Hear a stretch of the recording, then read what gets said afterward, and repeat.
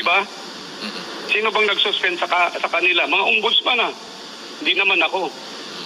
Sino bang nagpa-imbestiga noon? Time ni na ano, ay mauungkat na naman. Eh, di si ano, ah, DG file doon noon nung time niya na maraming nasuspend dyan. Yun ang mga gustong ibalik at ibinalik na ngayon sa pwesto nitong magaling na si Katapang. Mm, Okay, si... uh, Well, uh, General, uh, siguro uh, pahabol na tanong lamang. Eh, ngayon, uh, halos sinabi mo nga kanina, uh, limampung tauhan po ninyo ang uh, nawala. Kabilang na po kayo at nadamay nga at uh, tinanggal nga dyan sa bi- uh, bilibid. Eh, ano po yung ikinababahalan nyo sa ngayon na wala na kayo dyan? Eh, ang kinababahala nating number one ay ang kapakanan ng taong bayan dahil pumunta tayo, linagay tayo ng PRRD, President Digong para kumbaga bantayan at ah, disiplinahin yung mga nasa loob na lalong-lalo na itong mga drug lords. Eh, ano na ngayon ang susunod?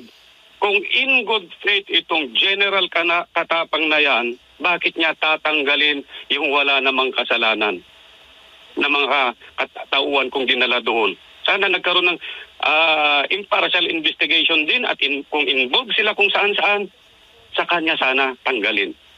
Di ba? Ito yung general, na general ni ah, Noynoy Aquino noon, noong sa 44, yung mga namatay. Di ba? Eh, eh, sasabihin ko rin, according to information, although hindi ako private dyan, sinasabing Ramboy din na nakasamang nagpabagsak ah, President Ferdinand Marcos noon. Ngayon, nakikita nyo anong ginagawa sa Bucor?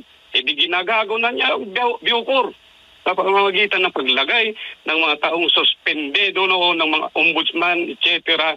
At itong isang ah, inspector retired na Bautista.